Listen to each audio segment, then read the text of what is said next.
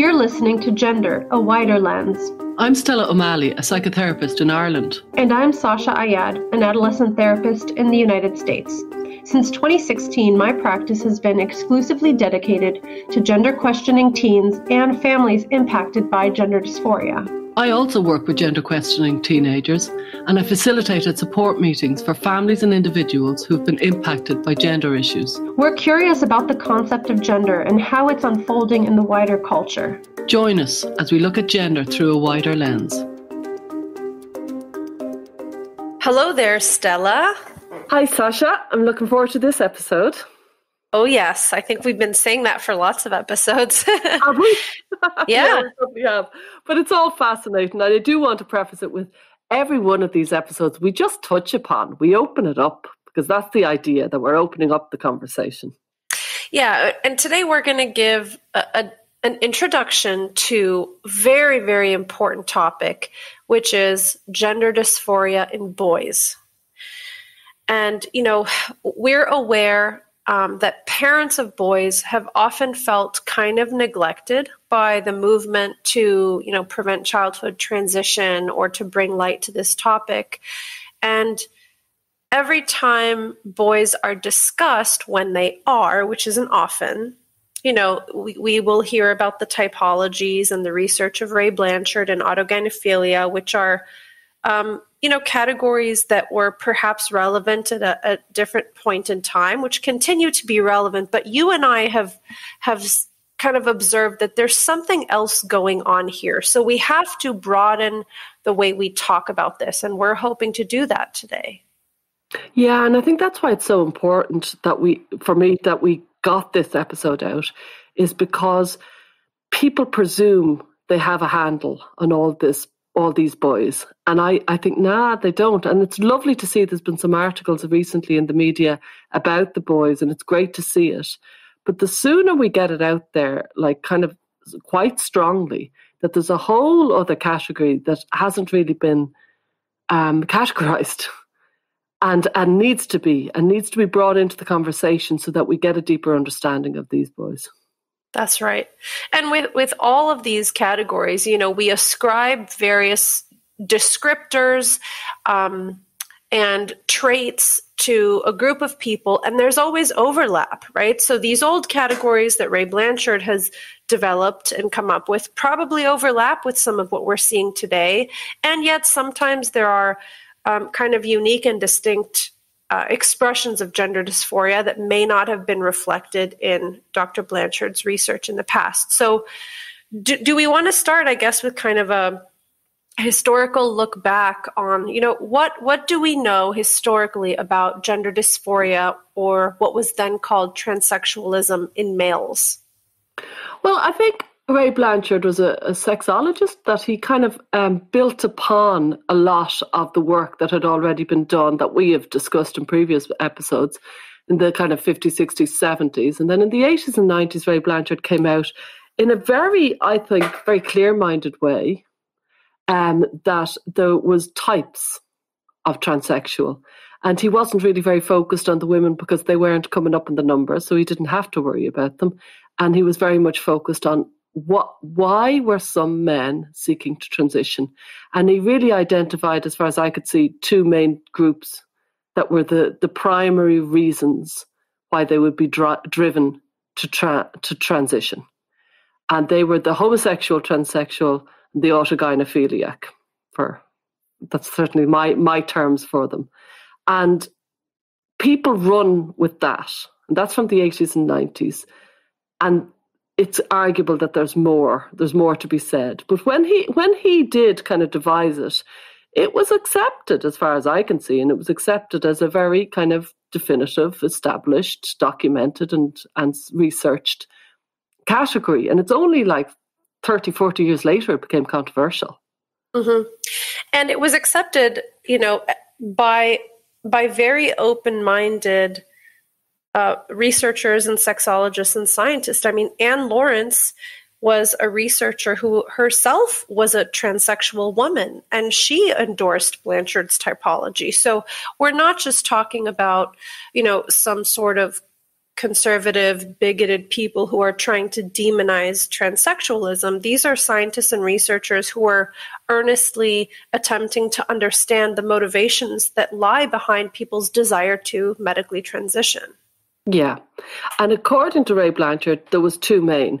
The homosexual transsexual was incredibly feminine from feminine from the from the time they were born really like they were just an, an incredibly feminine incredibly girlish boy who maintained that femininity, you know, and I know people might be rolling their eyes and saying, what is femininity? But classical gender roles.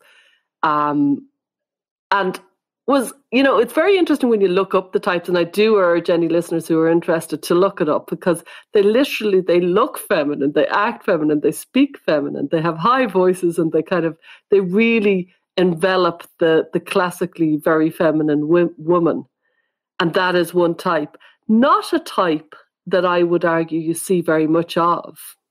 You know, I would wonder if we were working with younger teenagers, if we would see more uh, feminine males who are interested in transition. I, I have seen some males that fall into that category, and yet you know the fact that there's a cultural concept for you know being trans or having a different gender identity i'm sure captures all of these young males or most of them because you know these are probably young men who from a very young age connected well with girls and felt like they fit in in female peer groups. And so certainly they they could probably relate very much to femaleness and to girlhood. And so having this concept of gender identity would probably click very, very well with the experiences of boys like this. Yeah, and as I said to you before we start recording, I do have a friend who I think definitely was in that category and is in that category. And maybe he should have transitioned. Certainly he speaks about it quite wistfully now and he'd be middle aged now. And you could say maybe in another era he would have transitioned and it might have worked out very well for him. Um, and maybe he still could, of course. Um, but you know, so I do have a very, very, very um, long established relationship with somebody where you could see, you could see this personality, and I, you know, I know it very well as a result. Mm-hmm. And you know, one of the things that I remember um, Dr. Michael Bailey talked about in his book, "The Man Who Would Be Queen," was that you know men who pursue this kind of transition and live as women are interested in relationships with men. And so they may have, you know, more success, I guess, in some ways, being a very attractive looking um, trans woman who transitioned at a pretty young age, who um, passes pretty well in society. Perhaps it's easier to gain, um, you know, a relationship with a male partner in that way. Now, you know, it's also tough because there there is, in my experience, a lot of fetishization of trans women, and, and they can be treated in a way that is not given enough dignity and respect. So it's complicated, right? Mm. But um, that is quite different from the other typology that Blanchard identified, which maybe we can shift over to, which is the autogynephilic transsexual. And so, again, these are terms developed at the time. Probably people don't really use these terms much today. But this is a, a male person who is kind of aroused by the idea of himself as a woman. And from watching, you know, interviews and conversations where um, men who self identify as autogynephilic, they describe their experiences. It's really fascinating because it seems to be a powerful, powerful um, a kind of disconnect that feels very awkward and clumsy to, to, recognize yourself as a male, but want very much to become a woman and fantasize about yourself as a woman and the type of sexual attention also that they perceive they will receive as a woman. I mean, it's so complicated. And I imagine that this is just a very touchy idea because everybody involved, whether you are a, you know a straight woman listening in or an, a, a female who is a lesbian listening in, or if you're a male who is straight, this is an odd, odd condition I actually remember where I was standing the first time I heard about it. I remember it was James Caspian, the uh, the psychotherapist, who's brilliant and has worked in trans for, for, for many, many years. He explained it. And I was literally standing in his kitchen going, ah, oh. like it was a whole, a whole kind of planet opened up. And I, I literally, I remember exactly the moment of, oh, so, what it is, as you said, you know, it's from the Greek, love of oneself as a woman. And it's it's it's the male propensity to be sexually aroused by the thought of themselves as a woman. That is a complicated sentence. Yes. and it it is fascinating because it goes in all sorts of different ways. So you could be aroused as your for as yourself as a woman in a very kind of you know very kind of uh, slutty kind of way where you'd wear really kind of um, overtly kind of sexual clothes as a man you know but as a woman if you follow me that's the it has to be a man who is an autogynephiliac but also it can be with things like breastfeeding and menstruation and ironing and wearing kind of real dowdy clothes and being a, a real kind of librarian woman. Like it's all sorts of different ways to be a woman. It's not just the classically sexual kind of ripe woman. There's loads of ways to be aroused as uh, of aroused as yourself as a woman. And so it seeps into everything. And it does explain why so many men, if they do have autogynephilia, tendencies, they want to be deeply want to be accepted as a woman because they feel they that that's the entire concept. Yeah, is treat me as a woman. Otherwise, the whole stack of cards falls. Mm-hmm. Well, there, there's a revulsion to the fact of their maleness. I mean, that's the sense that I get. It's so disruptive and disturbing, and so being reminded of this kind of permanent fact of life um, goes directly in opposition to the kind of attempted fantasy and illusion they are trying to create. Yeah, and that makes it really, really hard. Like Ray Blanchard, when he when he said it, he did absorb part of that word autogynephilia uh, absorbs transvestites and you know, I do think that like in the eighties and the nineties, that there was, you know, there was an awful lot of daytime TV shows, you know, saying, you know, the man who had transvestitism and things like that, and we were very accepting of it. And I think that has got kind of, it has got subsumed into the, the trans umbrella. So in 1996, they, they, they moved from transsexual and transvestite into one word, which is transgender. And that's very much, you know, rooted in where Ray Blanchard was going. And I can see where he was going with it. Like I say, not controversial at the time. Everybody was nodding along. All the experts were just, you know, understanding it all.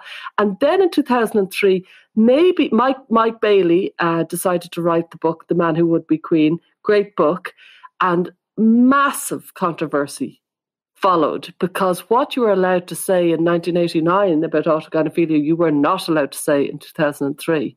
And it became a much more controversial term.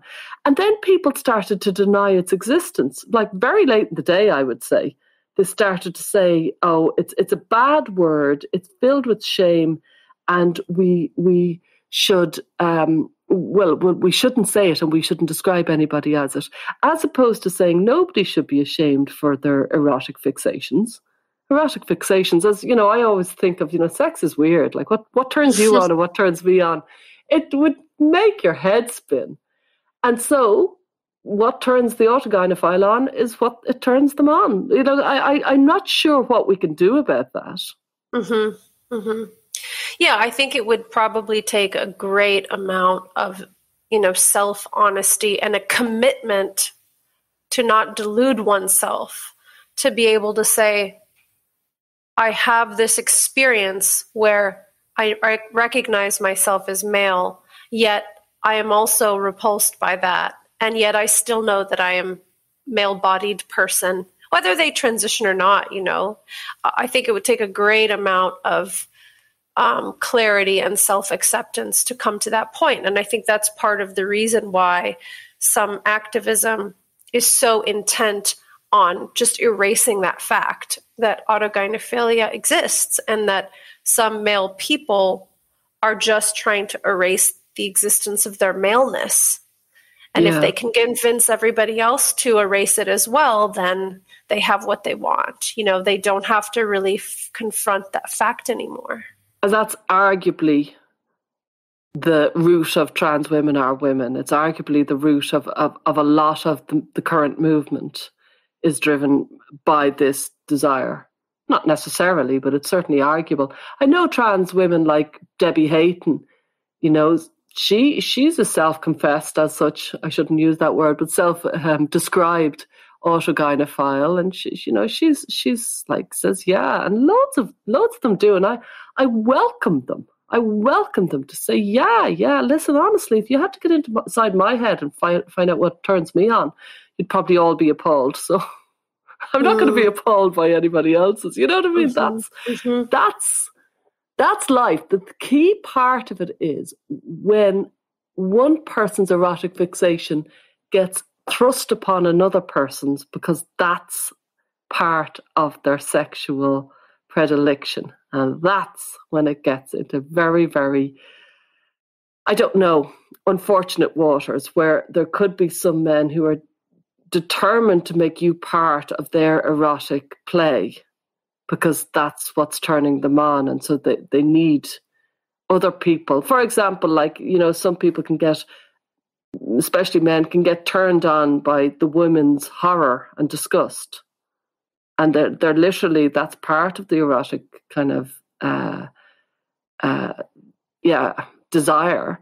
They want people to be disgusted. They want people to look away in disgust. And so you become part of their sexual um, play. I remember I used to have a clothes shop in, in my 20s, and uh, this guy used to come in regularly and he used to dress up in clothes, in women's clothes. In the shop, I, the shop was girls and boys, men's and women's, and uh, then he would come out and he would quite clearly have an erection, and look in the mirror. Now, I was there in my early 20s, didn't quite know how to handle this, you know what I mean? But was very aware, like, hang on, he's he's basically showing me his erection every time he comes into the shop, and he's coming in very often. And I don't know what to do because of course I was a liberal, inclusive, you don't shame people. But I as the, as the time went on, I thought, hang on a second, like I, I'm I'm part of his afternoon kind of fun here. And I, I, I was in a very uncomfortable. Now, don't forget, early 20s, woman on her own in her little shop, like. Right. And, you know, and so a, a, an old school friend came in, a very kind of grounded old school friend came in to visit me and we were having a coffee and who walks in but the guy for his for his afternoon event and um, um, he went in. I, I just said nothing. I just continued talking with my friend, and he went into the dressing room, came out.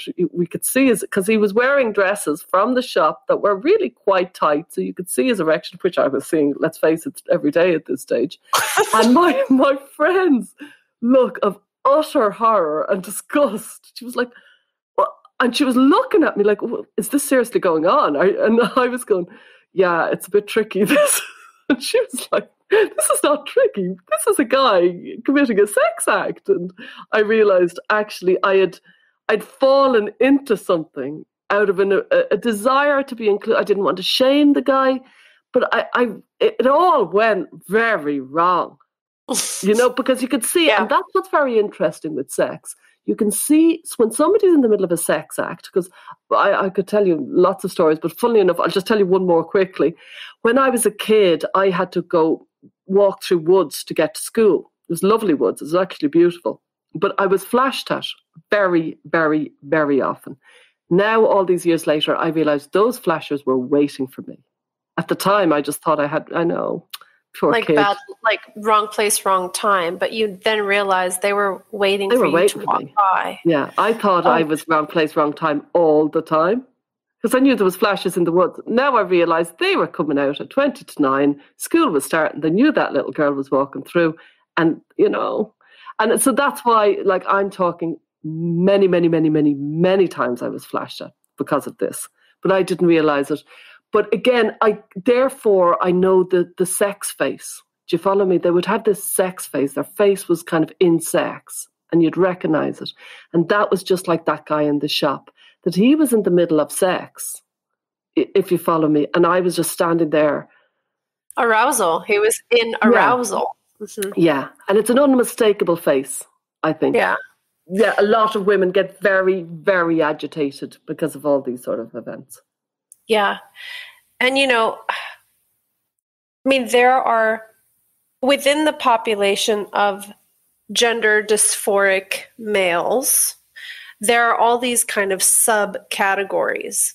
And there's a, a percentage of these males who may genuinely get arousal from the kind of discomfort people have yeah. around the fact that they are you know presenting as female or in changing rooms and i just want to point out because one of the misconceptions that i think happens a lot for the ROGD boys is that there's always this kind of perhaps sexual gratification that comes from their trans identification, and that's not always the case at all.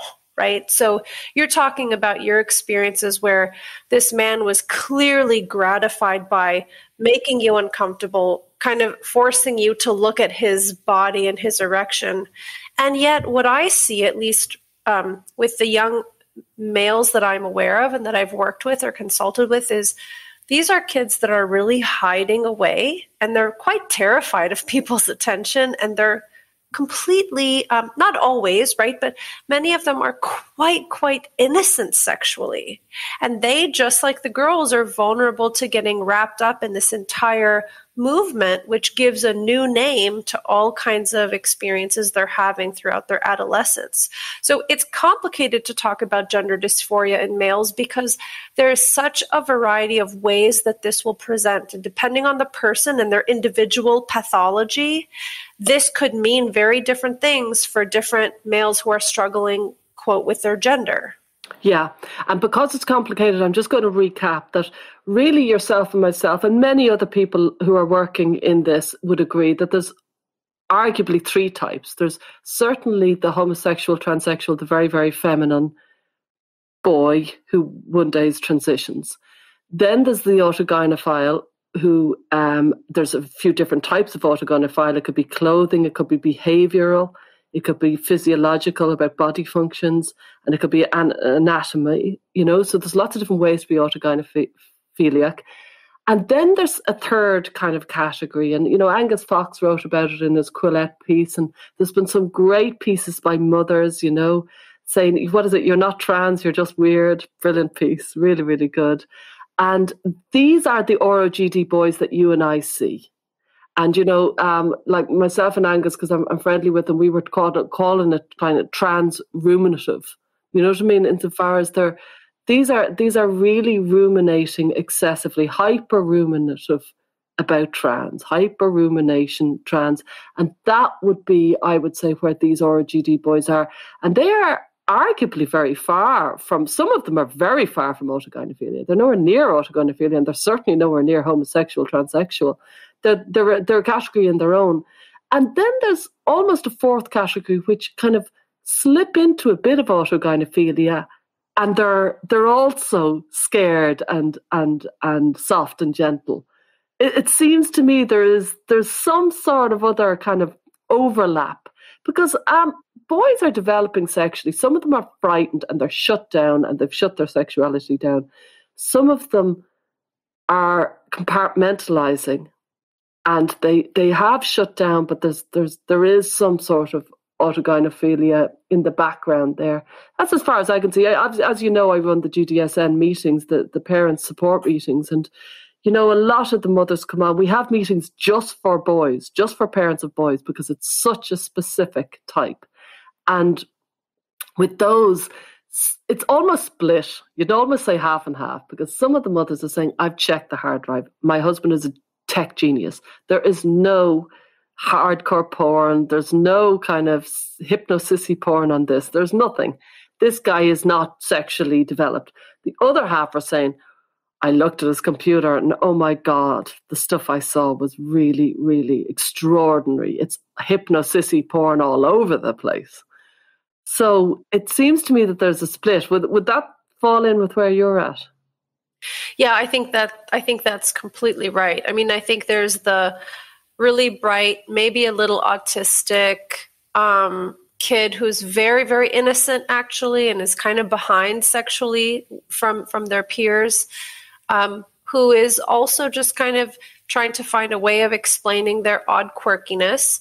And then there are boys who that they're definitely feeling strong sexual urges and they're quite malleable. You know, I know that some sexologists tend to view sexuality in these kind of rigid categories that you can't actually influence your sexual development. And I don't know if that's true. I, I'm not so sure. I think people can have leanings or propensities one way or another. And then if you take a young person who's in the throes of their kind of hormone surge and sexual development, and they're exposed to a lot of um, pornography that indicates one thing or another, I know that can influence their sexuality. So with the the boys that you're talking about, Stella, where they kind of are uh, like slightly autogynephilic, or it seems like they are, I'm really curious about that. You know, perhaps they had a few experiences of you know, trying on their mother's clothes as a kid or something. But then with enough, you know, use of certain types of pornographic images, it can mold their sexual preferences. And I mean, I've, I've heard clients talk about how porn influences your sexual preferences, both, both boys and girls. So there's no doubt that the use of, you know, pornographic materials, especially nowadays, you know, there's all of these animated pornographic images, which basically means that the illustrators can go completely beyond the realms of what's even physically possible, mm. which is terrifying when you think about it. So, to, to influence a young person's sexuality with cartoon images, I mean, porn already doesn't depict sex in a realistic way that's that's pleasurable for both people. Then you want to put images and cartoons that are completely made up and can do literally anything. I mean, that's that's a really powerful um, manipulative agent in my in my opinion. So I'm actually actually quite worried about the impact of porn on on teenagers because I've met so many teenagers, just clients that I've worked with, who've been freaked out by the porn they've seen, who freaked themselves out, who've got themselves very disturbed about the porn they've seen, girls and boys, not quite notably girls and boys. And I don't think really until this generation there was too many girls, teenage girls watching porn, but they are now. And that that that does kind of make me think we really are living in a pornified culture. But also, I've met so many boys who've, who've got to places because of the algorithms and because of the way the porn industry, are, which are geniuses, continuously lure them into a little bit deeper, a little bit weirder, a little bit more novel. Why? Because testosterone thrives on novelty. And they end up in very fetishistic places that they were never going to be had they not started the kind of porn journey. And the, you know that ASMR porn, uh, uh ASMR trans and ASMR trans porn and things like that, autonomous sensory meridian response or something like that. Anyway, it's it's it's it's part of this new world. And you know the clients are telling me about it, and it's just like it's a world that you don't want, isn't it? It's a world that's just dark and disturbing, and not exactly. It would be so much nicer if they were getting their sexual kicks in a in a more physical world than in this virtual yeah.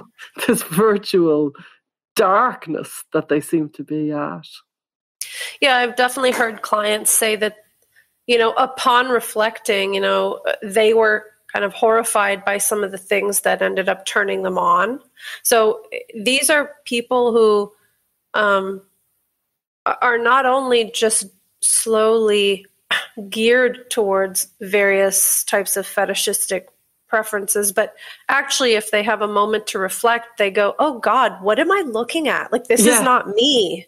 So there's something about that you know the way you, you can end up somewhere very far from what you actually value or what you actually find erotic. So that's dark when you think about how manipulated people's sexuality can become.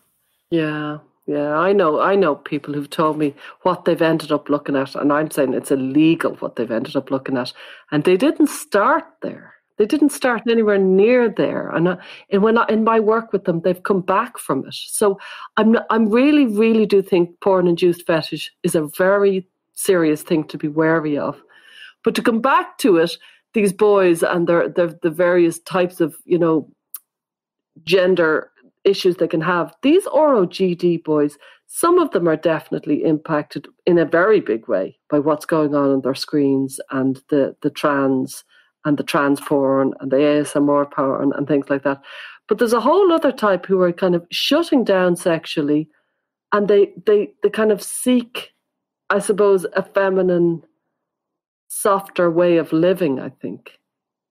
And those boys, I think, are are really badly served by being called autogynephiles and they're being dismissed and that the mothers, I think, are, are really wretchedly sad that nobody seems to understand their boy. And they're a type. They're so hilariously a type. They're all clever, as far as I can see. They're all quirky. They're all socially awkward. They're all, do you know what I mean? Shy, and it, it's such a type that they seem to be that it's it's it's fascinating that one personality type is so deeply likely to to identify as trans at the moment. I think that's that's really striking and gives a lot of food for thought. Mm-hmm. Well, we touched on this, I think, a little bit in episode four. I mean, there's something about the awkwardness of of these ROGD boys. Um, they tend to be, in in my experience, they tend to be actually quite soft spoken, kind of shy, and they could easily get lost in the shuffle of you know teenage cliques and popularity and who's cool and who's not cool and i think these are kind of wallflower kids that have a hard time making their way in in the social landscape and so you know to be to be able to adopt um, kind of a, a female persona and a female look, and then all of a sudden to be treated as the girls are treated, which, you know, I think for the most part, people do tend to be less hard on girls in some things, you know, not in everything. But if you are like learning how to do a new skill or something and you're seen as a girl, people are maybe like, "Oh, good job. You know, you did pretty good. You can do it next time." Whereas if if you're a boy amongst boys and you're trying to learn a new skill, they can be kind of tough on each other. So I do think there's a you you talked about living a gentler kind of life, and I do see that as being a thread that runs through some of these um, young ROGD boys. Yeah, and you know they're kind of. I know Kellie-Jay Keen-Minshull. She wrote a piece about it, saying that they were afraid of the locker room toxic ma- masculinity. They don't see a place for themselves in there, and there is no place for those boys there, and they don't find their tribe in maybe how they would have in other generations. They would have been that quir- quiet, quirky boy who would have been into funny stuff. Generally, they they used to. I remember the boys in my generation, they used to kind of kind of learn vast swathes of comedy and repeat it to each other, Star Trek, things like that.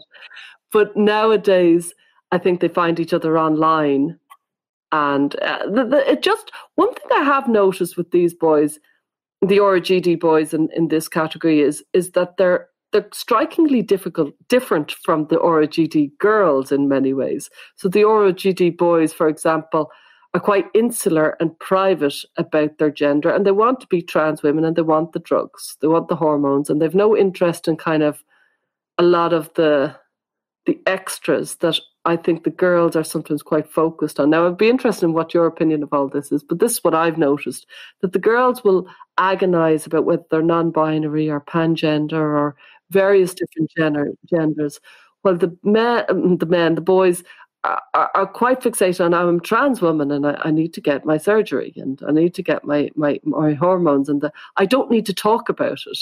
While I feel a lot of the girls, and I would say in, in quite a girlish way, the RGD girls want to talk about it. They, they often feel they're in a secret, but they want to talk about it and they want to agonize about it with everybody if they could and talk about all the different ways that whether they could be this and they could be that and they might be this. And it feels very ironically male and female that the the ROGD boys are, I've nothing to talk about. I need to transition. I've nothing to say.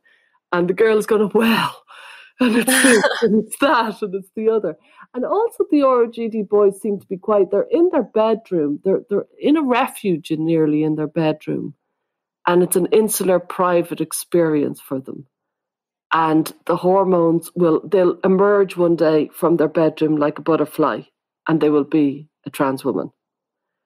While the girls are much more interested in all the accessories that goes with becoming a trans boy. So that could be chest binders and it's the hair and it's the sweatshirt and it's the shoes.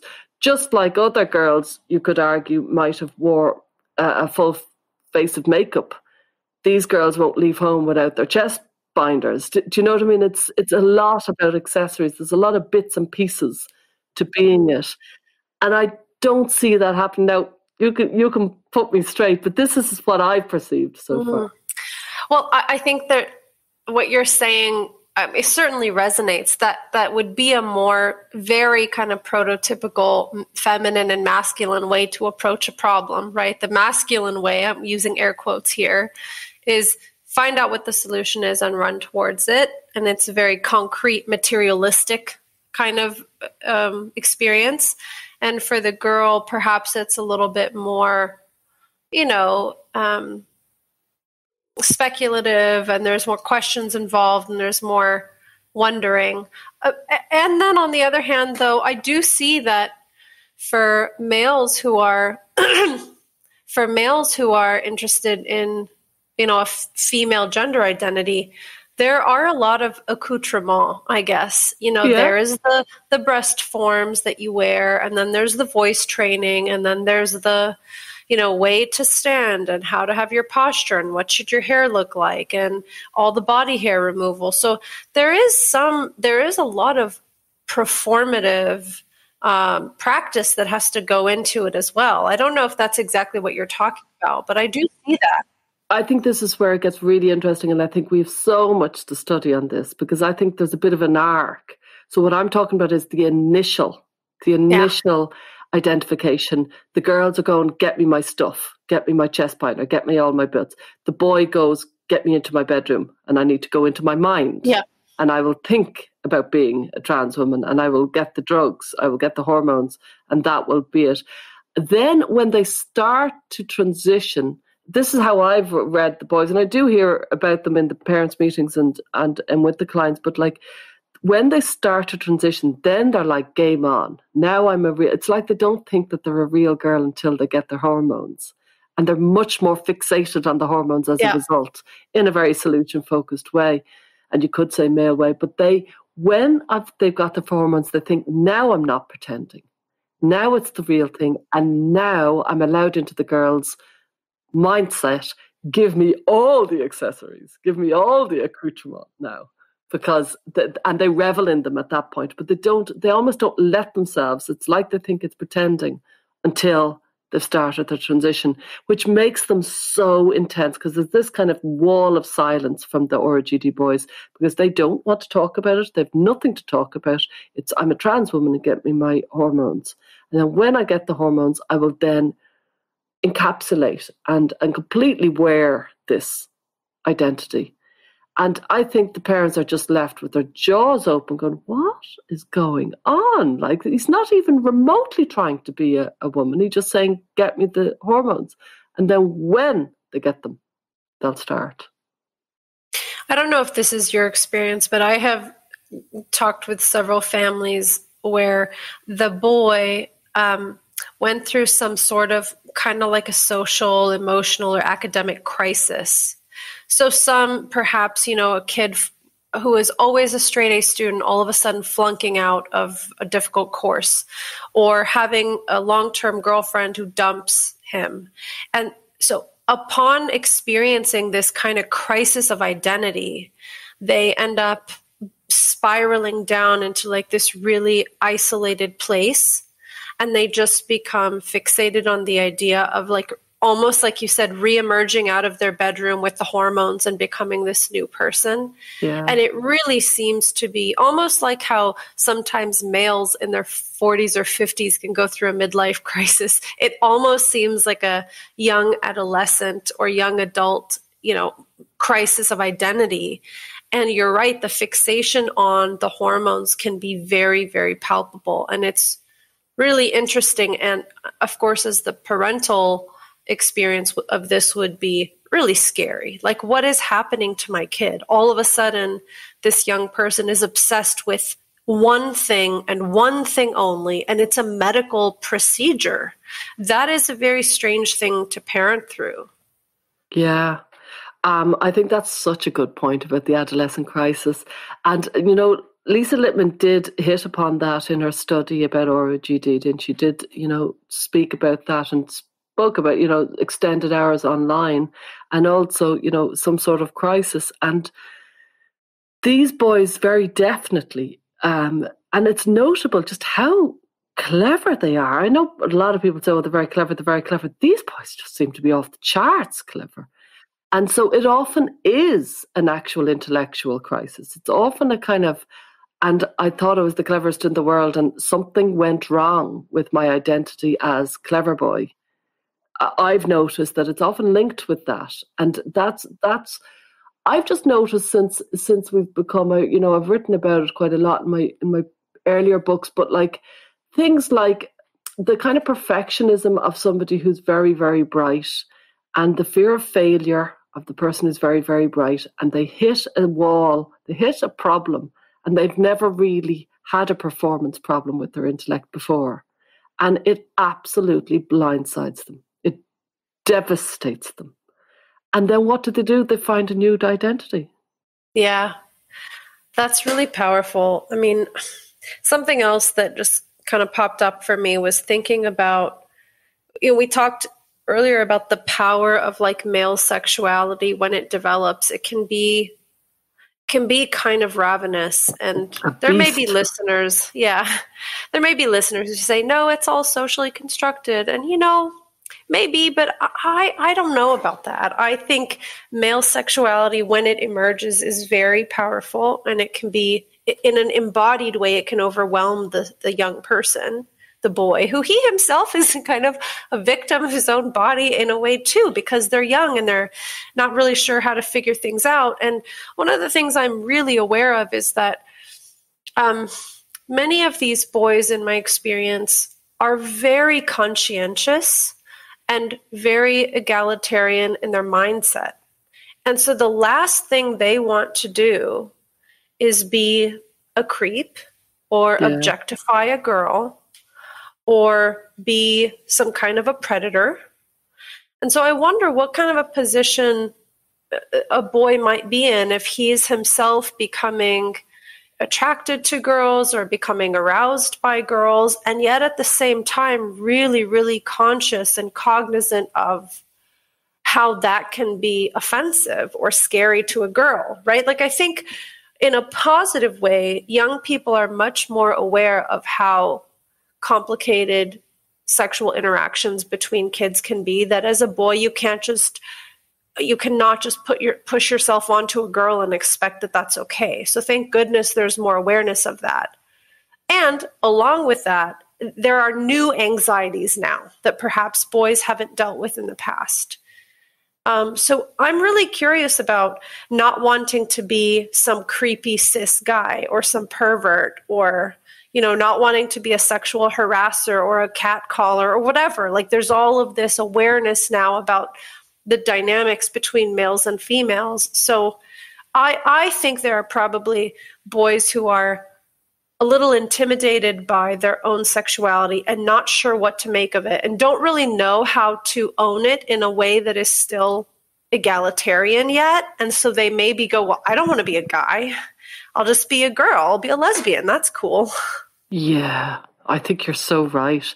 And it's like, you know, when the, the look of disgust on a girl's face when she's like, I thought you were my friend and now you've just done that to me, that can derail a boy for, for years. Like that can absolutely devastate them.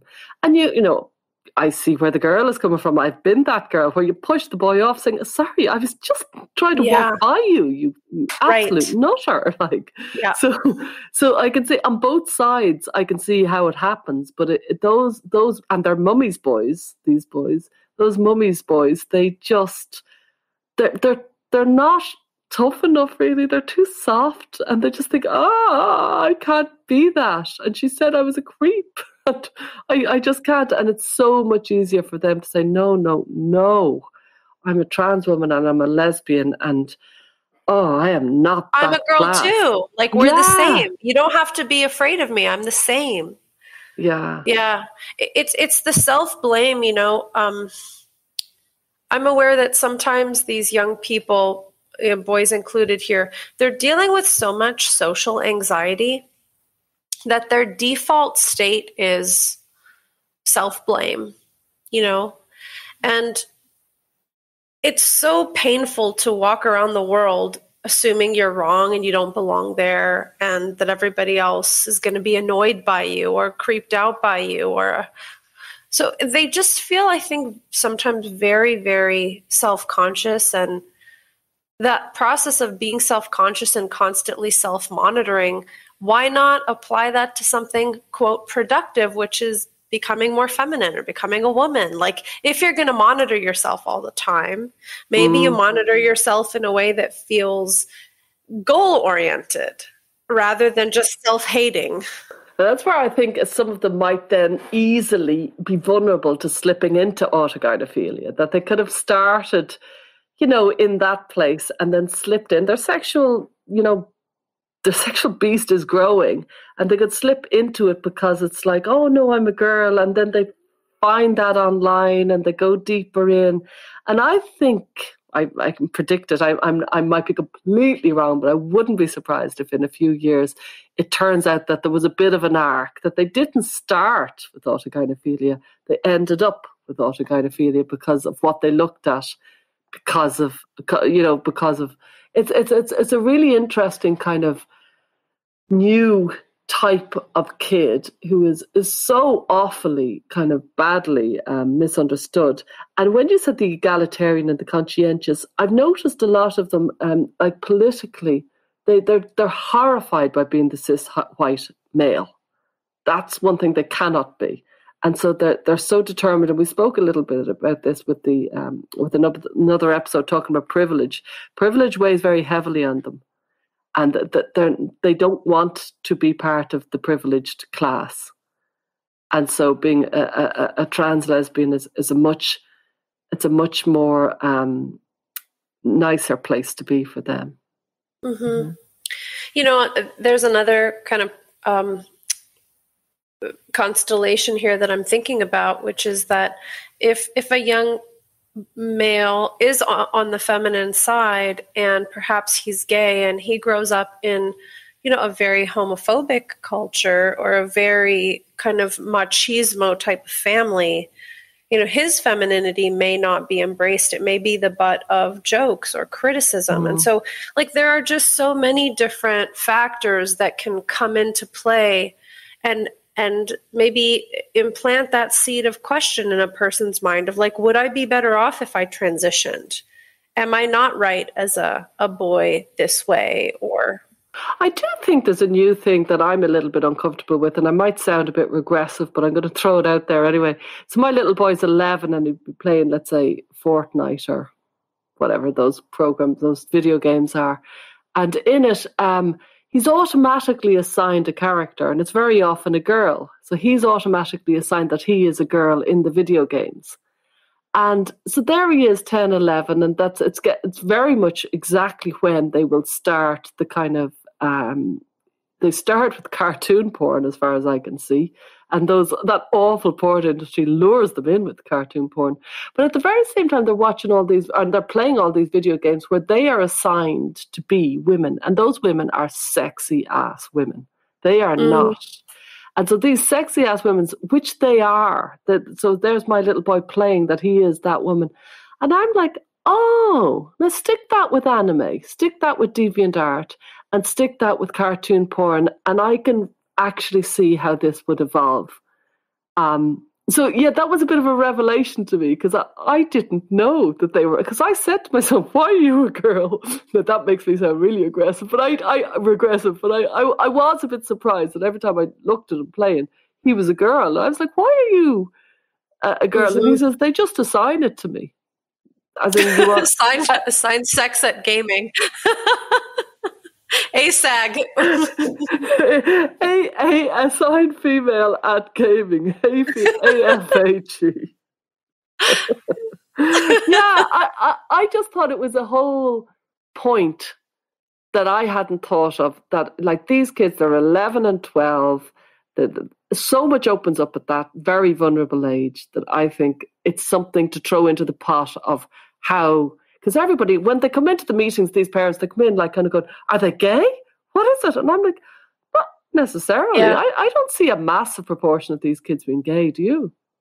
Yeah. No, I, I don't see a massive proportion. But then again, I just think I think by definition, parents who contact me are a little bit shocked by their kids' gender dysphoria. And so I, I, I do wonder and suspect and feel concerned that it's very plausible that any feminine boy is now identifying as trans and the parents haven't even blinked about it because they're like well yeah did you not know him as a kid? He was so girly.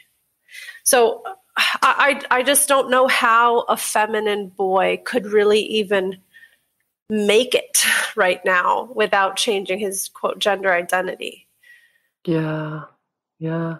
I'm not sure where where it's going to go from here because it feels so it feels so organized that the feminine boys you go in transition the feminine uh, homosexuals you go in transition the uh, it just feels very kind of done deal and the, the the, like I say earlier, the male kind of solution focused. Okay, well, that's what I am. Go for the solution. Move it on. Really makes the entire thing quite wrapped up quite quickly. Yeah, yeah I think it would be hard. It'd be hard yeah. to think otherwise. And for the for the for for everybody who's trying to talk, whether it's therapists or it's um, parents or friends, I find these boys, the RGD boys, they have no interest in chatting about it. I find. Well, maybe you know you're a brilliant therapist, so you probably say, "No, Stella, I get them chatting all the time." You fool. I do think there's an arc. You mentioned that earlier. I 100% agree, and this applies to both boys and girls. And I think this is a, I guess, for the any parents listening, I would say one, buckle in because this is a really long process. This is not something that will come and go overnight, in my experience.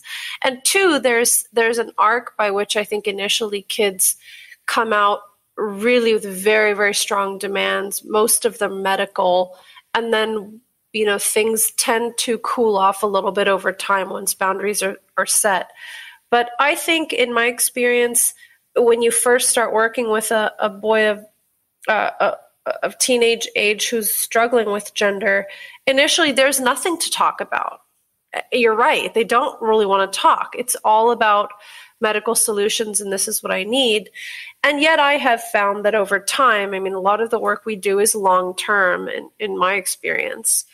Over time, there's so many interesting things to talk about, but it's really difficult to um, to navigate all of these complicated factors while this cultural concept of like well actually this is just a different gender identity you put that in the mix and it becomes really challenging sometimes to do real depth work.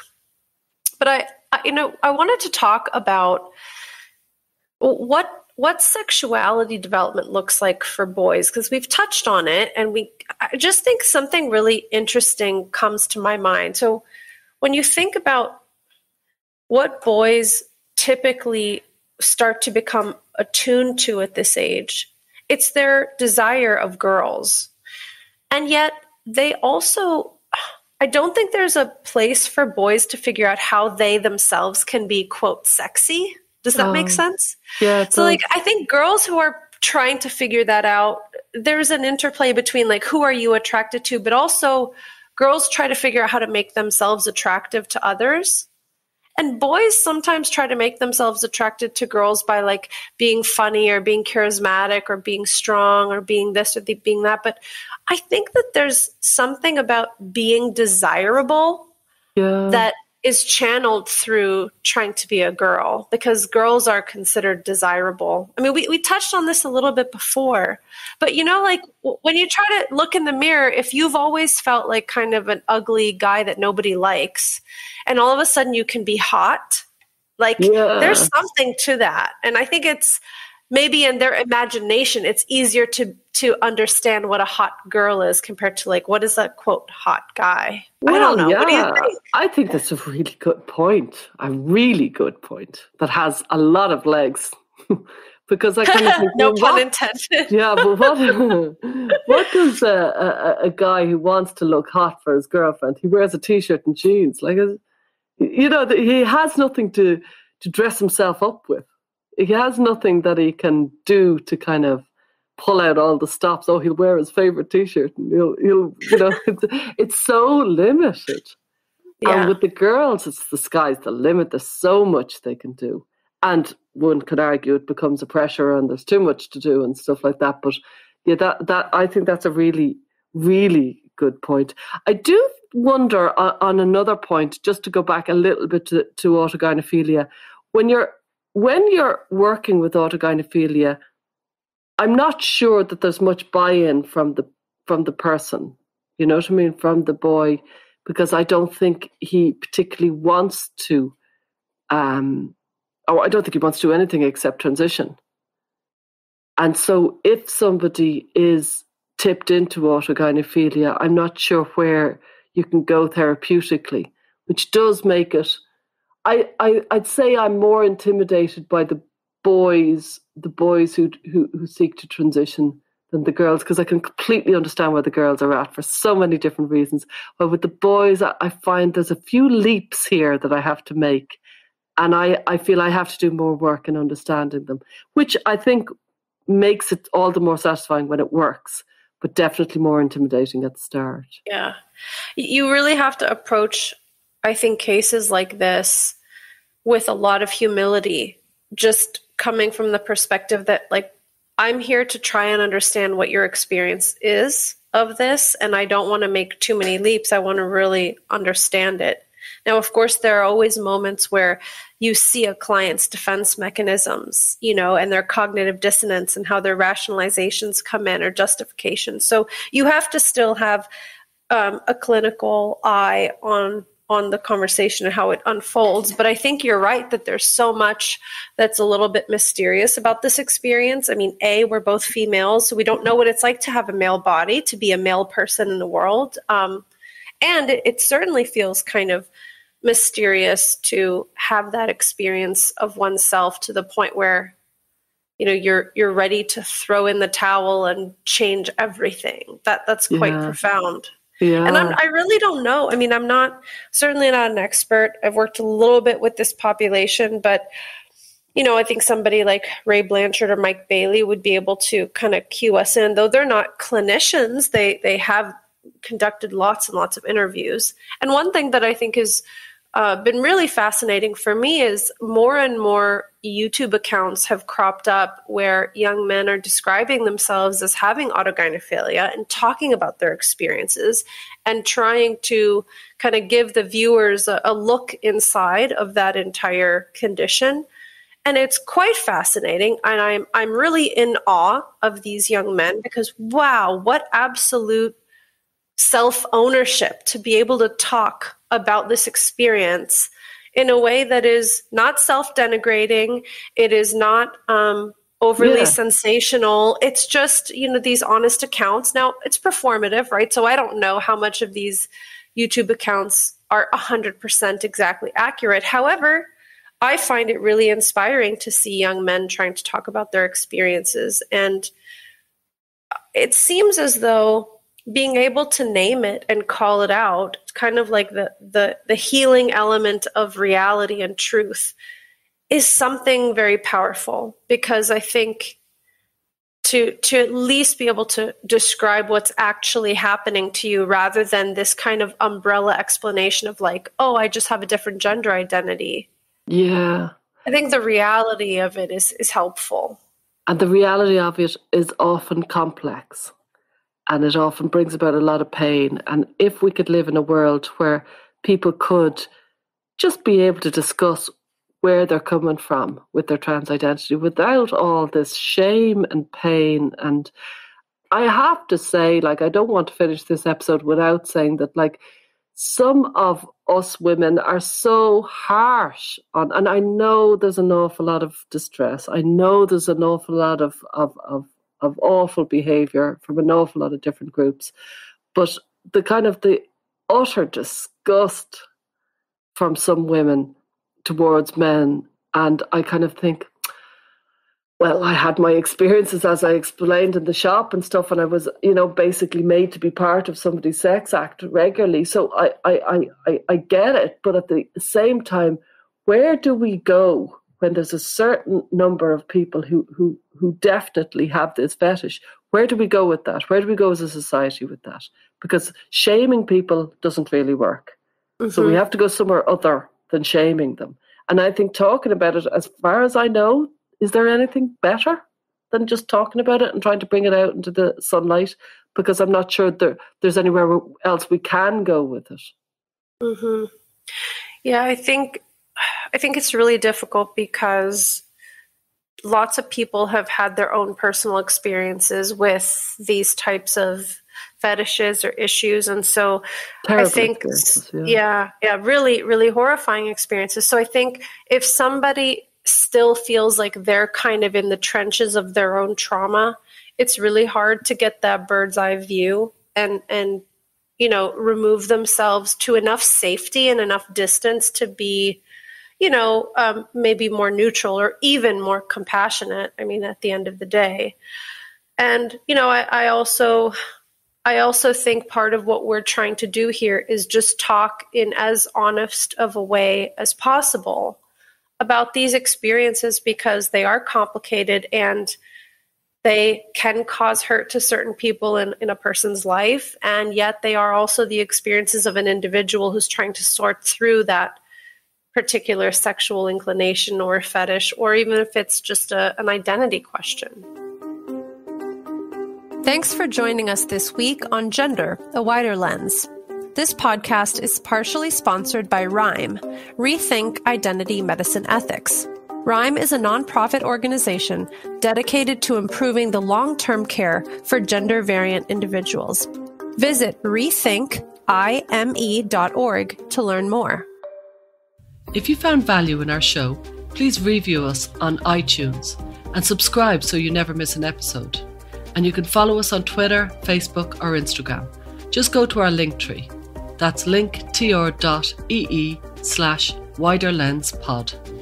Our discussions are for educational purposes only and are not intended as a substitute for mental health services.